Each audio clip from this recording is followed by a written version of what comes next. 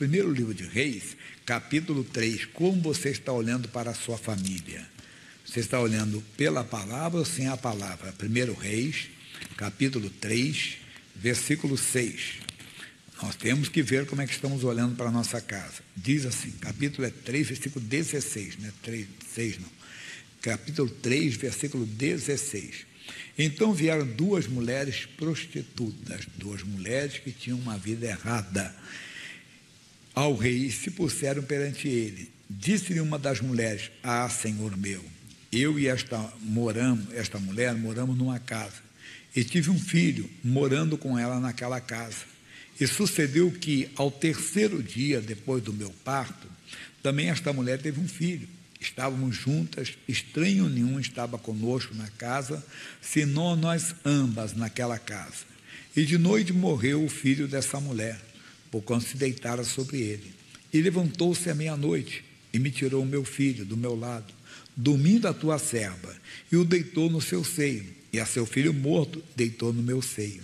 E levantando-me eu pela manhã para dar de mamar a meu filho, eis que estava morto. Mas atentando pela manhã para ele, eis que não era o filho que eu havia tido. Aqui tem muita revelação para nós. Primeiro, ela, ela diz assim: não havia mais ninguém em casa. Quando nós estamos no erro, quem está conosco, irmão? O diabo. Quando o diabo está presente, ele faz o quê? Mata, rouba e destrói. Não estou querendo trazer aqui, entenda bem, um conceito logo de cara na sua vida. Mas muita gente tem que aprender isso. Se você está com uma vida errada, você está com a porta aberta para o diabo entrar irmão, na sua casa. Às vezes nós estamos lutando pela nossa família, nós estamos lutando pela nossa casa. Mas eu pergunto: a nossa vida está no altar de Deus? Nós estamos andando com Deus? Porque se estamos fazendo algo errado, nós temos, estamos tendo a companhia do inimigo conosco. Aqui eram duas mulheres prostitutas, dizendo que, pelo amor de Deus, que alguém seja aqui mas alguém pode estar vivendo aqui somente. Alguém pode estar alguma, alguma prática comercial, alguma prática, vamos dizer assim, profissional, alguma prática até espiritual. Eu falo isso constantemente, tem pessoas que ficam zangadas comigo, quando eu falo que tem gente, não, pastor, eu tenho uns dons que Deus me deu desde que eu nasci. Para com isso, irmão. Falando de caso espiritual. A Bíblia diz que não se coloca um vinho novo no odre. Todos pecaram e, nasceram, e destituídos foram da glória de Deus. Nós já nascemos separados de Deus, mas não tem esse pessoal que diz, não, desde pequeno que Deus me mostra as coisas. Eu vejo as coisas antes de acontecerem. Desde criança, cuidado, pede alguém para orar por você. Verdade, coisa séria. Mas então só isso aqui já basta. Verifique se você não está tendo algum comportamento fora da palavra. Se não está tendo algum comportamento que é contra a palavra de Deus, você está trazendo o inimigo para dentro da sua casa. A mulher disse: só estavam nós duas, não tinha mais ninguém em casa. Estava, estava o diabo. Que isso? Estava o diabo, duas mulheres prostitutas, duas mulheres que praticavam coisas erradas. Mas não é só isso, qualquer que seja o erro. Quando você separa de Deus, você dá lugar ao diabo. A Bíblia diz: não deis lugar ao diabo. Leia a carta, depois eu vou falar na segunda parte, um pouquinho mais, na, no, na outra parte, não vou citar esse assunto hoje ainda não. Mas na segunda, na, na carta de Efésios, diz, aos Efésios, ele diz: não deis lugar ao diabo, que é Efésios 4, 27. Mas não está na, na, segunda parte, não, só dei esse toque agora. Então, voltando aqui. Outra coisa diz: eu fui de dar de mamar meu filho à meia-noite, acordei e fui dar de mamar. Às vezes nós estamos olhando para dentro de casa, mas não estamos olhando à luz de Deus mesmo que não esteja eu algum, não, pastor. Você falou de práticas erradas, glória a Deus, a minha vida está no altar de Deus. Eu procuro fazer tudo certinho. Parabéns. Temos que fazer. Não só entenda por nós, mas também pelos outros, para não darmos escândalos, não é verdade? Que as pessoas não se escandalizem com o nosso comportamento, com nossa grosseria, com nossa estupidez, uma opção de coisa. Então nós temos que verificar isso. Mas o que acontece? Ela está dizendo aqui: Olha o que vai dizer para nós assim: E levantando-se eu de manhã para dar de mamar ao meu filho, eis que estava morto. Mas atentando pela manhã para ele, eis que não era o filho que eu havia dito. Aqui está a mensagem. Nós temos que olhar para os nossos filhos, para a nossa casa, não por aquilo que estamos vendo, porque sem a luz de Deus, sem a palavra de Deus, nós temos que olhar pela ótica da palavra. E a palavra diz o quê? Salmo 127. O que, que a Bíblia fala dos filhos? Só aqui para você entender, Salmo 127, versículo 3. Tá bom? Ele diz assim: Eis que os filhos são herança do Senhor. Então, se eu olho para o meu filho sem essa palavra, eu posso ver ele num comportamento errado, numa prática errada. Se eu olho ali, eu entro em desespero. Deus, esse é o filho que o Senhor me deu? Meu filho drogado, meu filho embriagado, meu filho prostituto, meu filho rebelde, meu filho isso, meu filho aquilo. Você não consegue ver. Você está tá vendo seu filho à noite. Você está vendo seu filho sem a luz de Deus. Não querendo ser repetitivo, mas sempre cito aqui o Salmo 119, versículo 105. O que, que ele diz lá? Lâmpada para os meus pés é a tua e luz para o meu caminho. Então eu tenho que olhar o meu filho pela luz da palavra, mas não é meu filho, é qualquer pessoa da minha casa. Porque está escrito: crê no Senhor Jesus Cristo, serás salvo tu e a tua casa. E se eu quiser ampliar esse conceito, eu tenho que olhar para o ser humano, por pior que ele seja, o mais cruel que ele seja, eu tenho que olhar que Deus pode transformar a vida dele. Ele pode se tornar um homem que é mau hoje, uma pessoa que é monstruosa hoje, ela pode, mas nós não olhamos, olhamos assim, esse filho do diabo, esse filho do cão, esse infeliz, esse miserável, assim, essas palavras, adjetivos bonitos, entre aspas, né, que não, nunca devíamos falar a respeito dos outros, mas falamos. O que, que nós tínhamos falar? Deus, se ele te conheceu, só muda a vida dele. É verdade, porque para Deus não há impossível. Nós temos, por isso que temos que pregar o Evangelho a todo mundo, sempre lembrando de Saulo de Tarso, o grande perseguidor de cristãos que se tornou o grande cristão. Por quê? Porque teve alguém que intercedeu por ele, alguém que acreditou. É que nós temos que fazer. Mas voltando para esse entendimento agora, Jesus falou em João 8,12. O que, que ele diz? de, é, falou Jesus outra vez, tem que falar mais vezes, irmão. Não fica zangado quando você ouve a mesma coisa algumas vezes. Tem que dizer, não, mas calma, às vezes tem que falar constantemente. Falou outra vez, e tem, tem versículos da Bíblia que Deus vai falar conosco constantemente em cima dele. Enquanto você estiver no, Evangelho, você vai ouvir. Esse que você acabou de ouvir agora, lâmpada para os meus pés é a tua palavra. Quantas vezes tem que falar conosco? Nós estamos tirando os olhos da luz. Nós não estamos seguindo a Jesus. Eu sou a luz do mundo, quem me segue não andará em trevas, mas terá a luz da vida. Nós não estamos seguindo Jesus, nós estamos seguindo o que estamos vendo. Então, por isso nos assustamos, por isso entramos em pânico quando estamos vendo: meu Deus, meu filho está morto. Espera aí, mas quando ela levou para a luz do dia, aí ela viu que aquele não era o filho dela. Leve para a luz, quer dizer, comece a ver as pessoas pela palavra de Deus, comece a ver a sua casa pela palavra de Deus. É como um diagnóstico médico, doutor, está certo. Tem lá aquela lesão, tem lá aquela normalidade, entende? E o que, que você faz? Está amaldiçoando essa normalidade, aí você começa a olhar o seu corpo como pela palavra de Deus, pelas feridas de Jesus, eu fui sarado. Está amaldiçoando essa doença. Vai lá no tratamento no forma, vai amaldiçoando, você vai tomar posse da benção.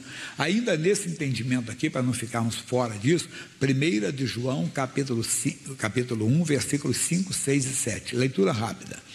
1 de João 5, esta é a mensagem que dele ouvimos e vos anunciamos que Deus é luz e não há dele treva nenhuma. Deus é luz, Deus está na sua palavra. Aqui está o esconderijo do Altíssimo. Entenda? Aqui está a casa de Deus. Então, Deus é luz. Versículo 6. Se dissermos que, que temos como com ele andamos entre mentimos e não praticamos a verdade. Que andamos, sou de Deus, mas não concordo com a palavra dele. Concordo com o que eu estou vendo. O que, que eu estou vendo? Um filho no álcool, um filho nas drogas, o marido assim, a esposa assim. Eu olho o ser humano, acho que Deus não tem poder para transformá-lo. Recebo uma, um diagnóstico, entro em desespero. Por quê?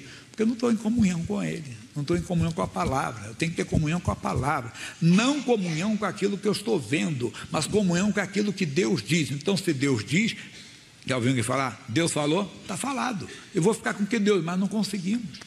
Por quê? Porque não conseguimos andar por fé. Aí depois eu leio para você, eu tenho que ler o 7. Então, mas se andarmos na luz como Ele na luz está, temos comunhão um com os outros. Então nós temos que termos comunhão. Comunhão. Pode ser um fascínora, né, como alguém diz, né?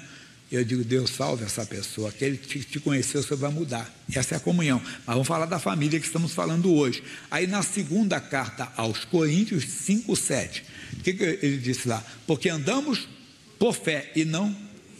E eu pergunto, como é que você está andando? Você está andando por fé? Entenda bem, ou por vício. Repito, o que eu vejo me assusta. O que eu vejo me amedronta, mas eu vou, vou, ficar com aquilo que Deus diz. E aquilo que Deus diz me fortalece, quer dizer, me levanta. Ou aquilo que Deus diz alegra o meu coração. É isso que nós temos que fazer. Ela disse: Ah, Senhor, fui dar de mamar o meu filho, ele estava morto, Senhor. Imagine, que dor. Eu estava gostando com uma senhora, o esposo faleceu, entenda? Homem de Deus, foi para a glória. Mas, pastor, quando, puxa, quando acordei, ele assim, estava gelado já. Já estava na glória já com Jesus. Já era um homem de Deus. Mas é, na hora deu desespero, né? Deu aquele pânico, né? aquela, aquela aflição. Imagina uma criança.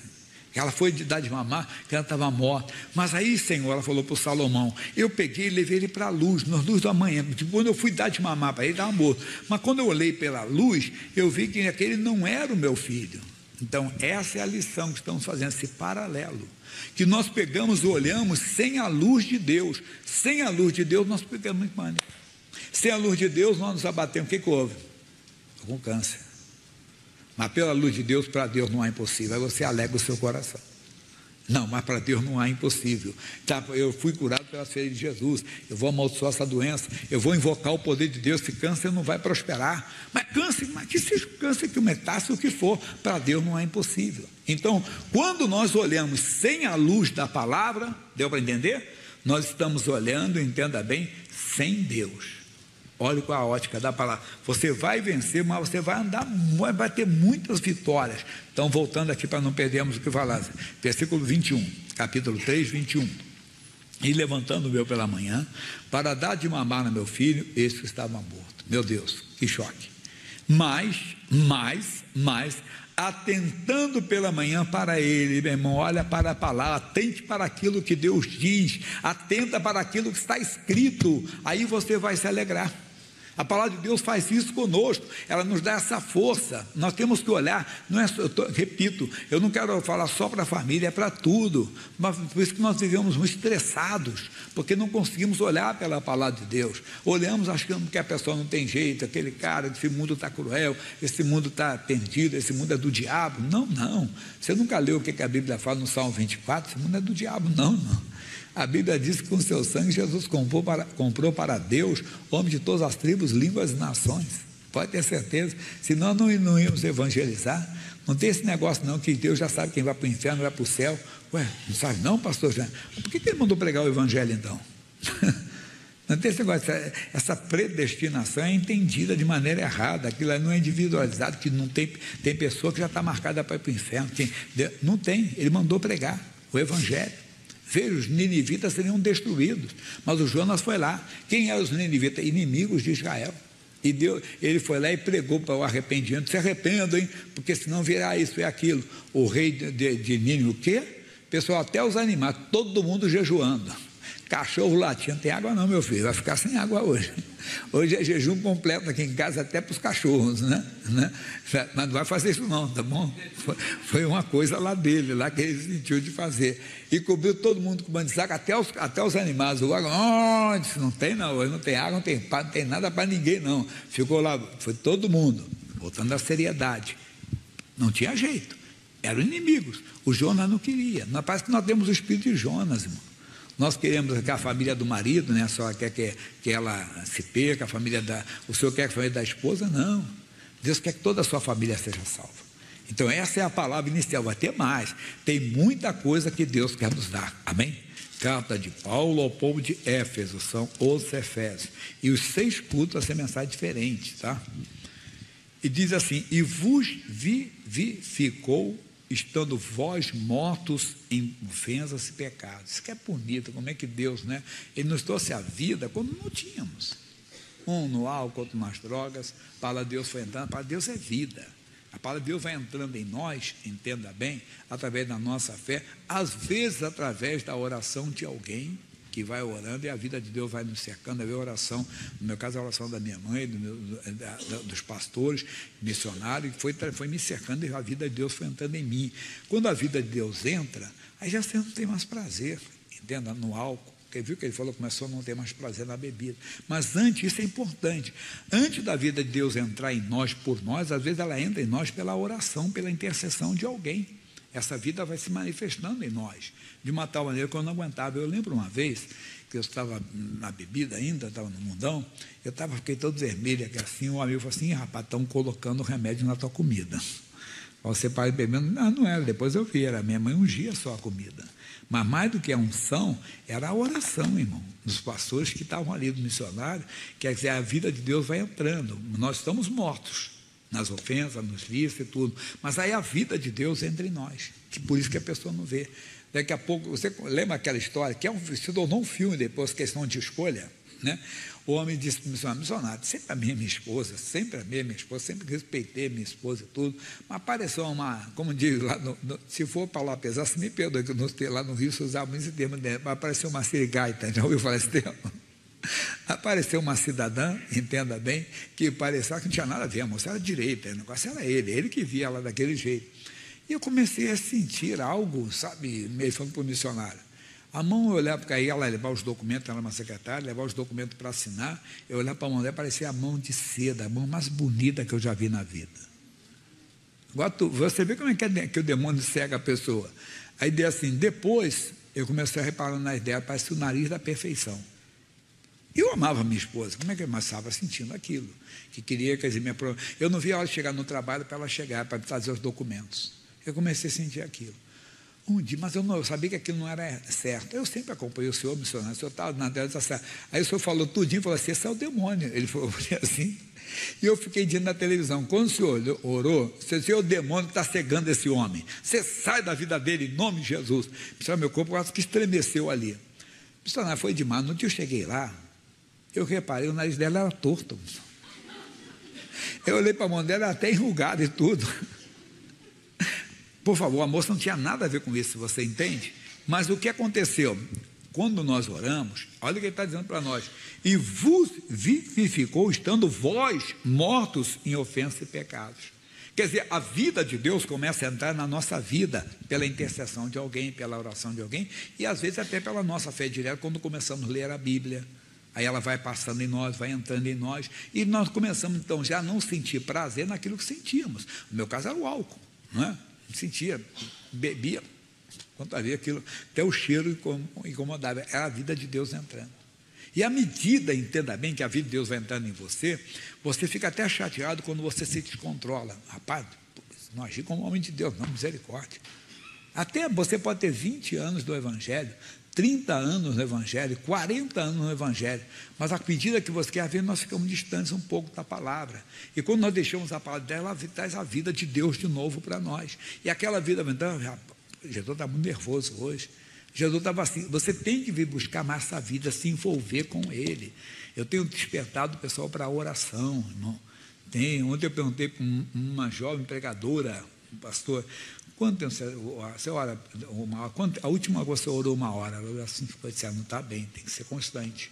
Ah, nós temos que manter, quer dizer, ter esse contato com a vida de Deus, mas tem que ir à frente, senão eu vou ficar filosofando aqui. Aí ele diz assim, que em, em que no outro tempo andar segundo o curso deste mundo, segundo o príncipe das potestades do ar, do espírito que agora opera no espírito da desobediência, verdade. Estava falando do futebol, não era assim, mais ou menos? Às vezes nós tínhamos até a ordem de uma pessoa por causa do time dela. Tínhamos. Claro, não estou dizendo que não tem essa coisa, não. Eu, eu, citei, eu tenho citado esses dias, nós devemos, não é mensagem para agora, mas também fica, que é Provérbios 24, 17. Nós não devemos nos alegar quando alguém tropeça. Ele diz assim: quando cair o teu inimigo, não te alegres, nem quando tropeçar se regozije o teu coração. Aí eu fiz um paralelo, por favor, não estou dizendo, entenda bem, que você não pode torcer para um time, não, fiz um paralelo. Eu falei que eu estava em Belo Horizonte, porque lá um tempo da igreja, e um dia estava jogando o Atlético Mineiro, é um clube de Minas, com um time lá da Argentina, e o time da Argentina ganhou. Quando acabou o jogo, soltaram tantos fogos, falei assim, rapaz, será que eu estou na Argentina? Não sei. Mas por quê? Porque o Cruzeirense se alegrou na derrota, como aqui, não é verdade? O, o, o, o, o Corinthians joga com o time lá da China, aí o Corinthians perde. Aí soltar um fogo assim, será que tem muito chinês aqui? Né? Apesar de ter.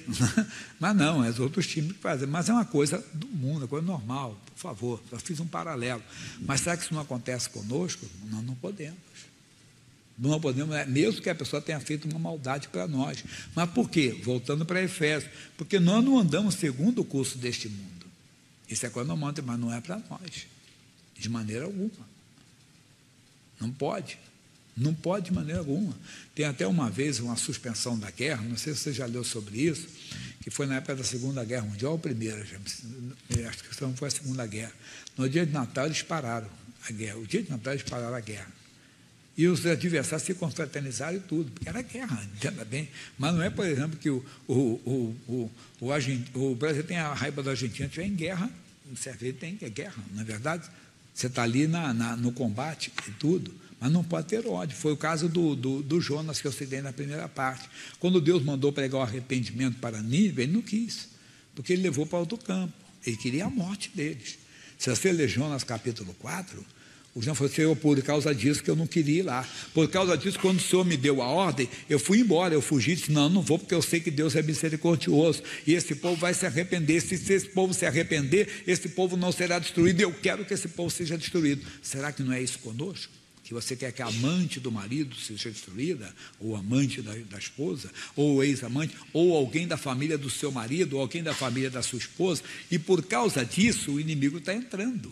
E ele está matando, roubando, destruindo. Você está convivendo com ele, lembra? Mas pastor Jaime, você tem que verificar. Nós não andamos segundo o curso desse mundo. Versículo 3.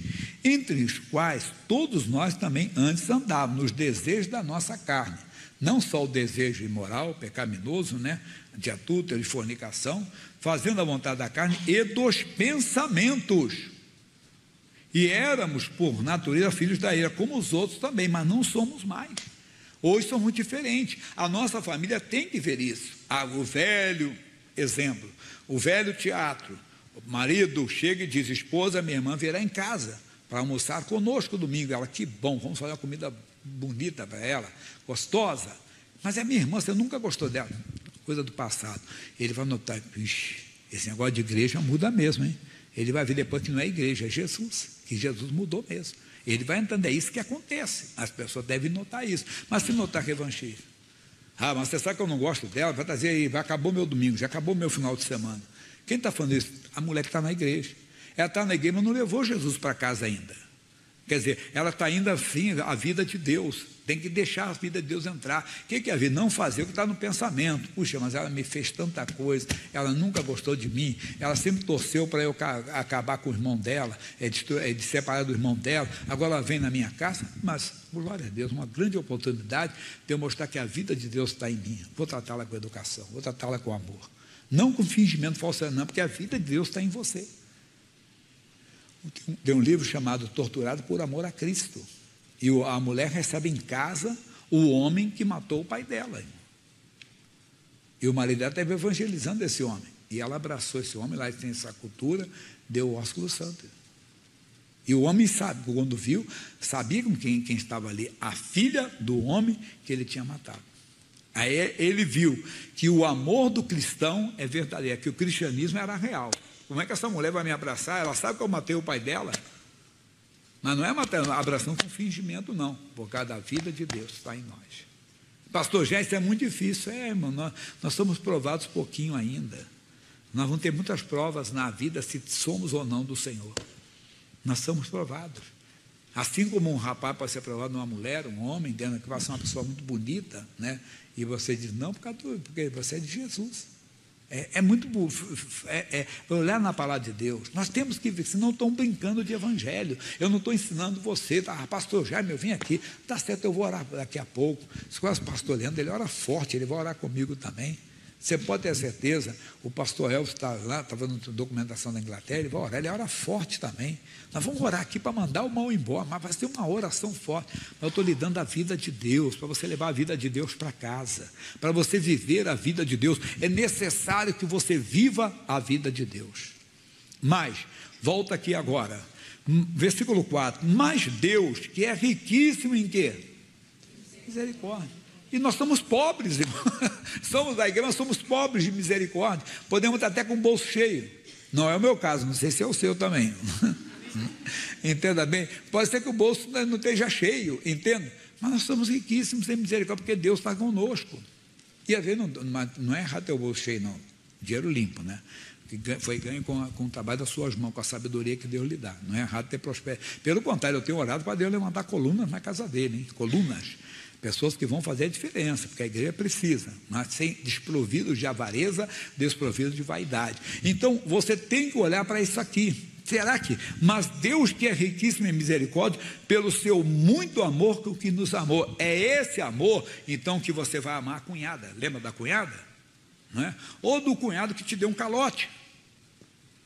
É, é o irmão da sua esposa. Pastor o cara é 7-1 legal. Mas você vai ter que amá-lo, porque você quer que ele você quer que a vida de Deus. Quando a vida de Deus entrar nele, assim como o outro não aguenta sentir o cheiro do álcool, ele não vai aguentar mais as trapaças, ele vai ter até vergonha das trapaças que ele fez. E vai até tentar fazer como fez o, Zaqueu. Senhor, eu vou restituir quatro vezes a quem eu dei falou, dei, Senhor, eu não quero mais. Porque a vida de Deus entra. Quando a vida de Deus entra, o comportamento é diferente. O comportamento é diferente. Nós precisamos ver se a vida de Deus está entrando em nós ou se queremos apenas a bênção de Deus. Não. Nós queremos essa comunhão, quer dizer, a vida de Deus vai entrar em nós, a vida de Deus vai se manifestar em nós. Ele é riquíssimo, pregador, ele é riquíssimo. Aqui tem muita coisa, pregador, tem muita coisa, entende? Pode ir buscar que ele vai te dar, mais ainda ele vai dizer para nós. Estando nós ainda, olha só, hein? Mortos em nossa ofensa, nos vivificou juntamente com Cristo, pela graça sois salvos. Porque nós, quando conhecemos, era assim. Nós conhecemos, começamos a ter mudanças nas nossas atitudes, mudanças nos nossos comportamentos, que era a vida de Deus entrando, às vezes nem pela nossa fé, pela fé dos outros que estavam nos secando o coração. Você começou a sentir ah, quer mais sentir a bebida, você não sentia mais alegria, você ouvia já um palavrão não machucava seu ouvido, é a vida de Deus está entrando.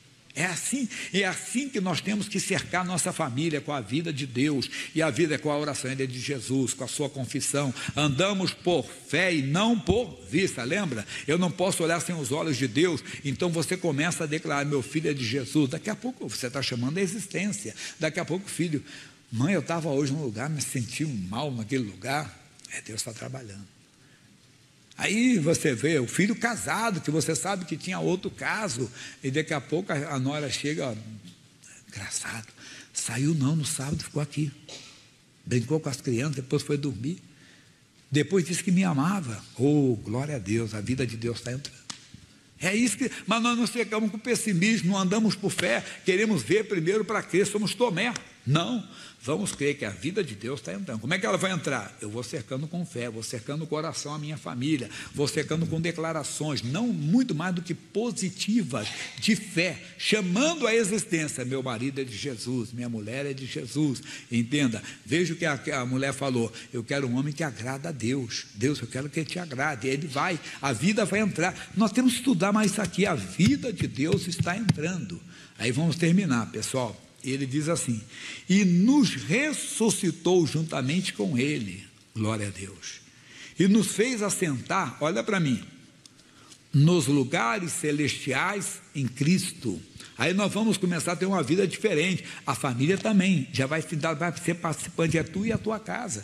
Por isso que muita gente, da, a família começa, mas aí você fica sempre com confissão negativa, você não crê que Deus está contigo, você quer dizer, está olhando sem a luz de Deus, você está olhando sem a palavra. E vê, meu Deus, eu, Senhor, quando eu olhei, mas que estava morta, meu Deus, fui dar de mamar para ele, que desespero, mas eu levei na luz, espera aí, esse aqui não é meu filho, é a mesma coisa.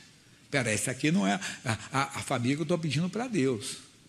Não, Diabo, você perdeu, a minha família agora é de Jesus. Lembrando sempre de Romanos 4,17, que a fé chama a existência as coisas que não são como se já fossem. Então você começa a chamar a existência aquilo que ainda não existe. Quer dizer, aquilo que você não está vendo ainda, mas você chama, que a Bíblia diz. A fé vem por ouvir, ouvir pela palavra. Meu filho é herança do Senhor, meu marido é santificado, eu e minha casa serviremos ao Senhor. É como a sua cura divina. Eu fui curado da amaldiçoada dessa doença em nome de Jesus. É que o, o, o missionário falou: Deus cura Pela fé, pela ciência, às vezes dá um médico certo, dá um remédio certo. Lembra do irmão diabético? Perdeu a visão, ficou cego.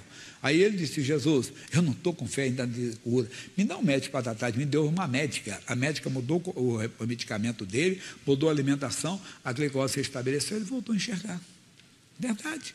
E tem casos que às vezes é outro. Então, seja o outro até pela natureza. Eu falei de um rapaz que ele dava tipo como se fosse epilepsia, mas não, ele convulsionava, mexia no cérebro dele. Era um, eu não vou nem falar o, o, o alimento, senão pensa que é para você também. Era o caso dele. Ele foi no de alergia lá e mostrou que ele tinha alergia a um certo alimento. Tirou aquele alimento, acabou. Ele nunca mais, quer dizer, pelo alimento. Né?